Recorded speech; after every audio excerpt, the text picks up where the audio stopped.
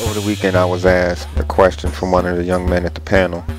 I gave him my business card and he looked at it and he simply said, What does Manifest One do? And I've been talking a lot about an elevator pitch, and you have a minute to tell somebody what it is that your organization is about, what it is that you're about. I didn't have a minute. And I developed basically a, a three sentence objective or a mission statement for what we do. Manifest One is an organization that meets you where you are, helps you get to where you want to go, and helps you become better in the process. Somehow I have to incorporate that into the website, into the branding, into whatever it is that I do for Manifest One, in addition to all the things I'm trying to do for myself to bring to bring the two together so that we can move to the next level.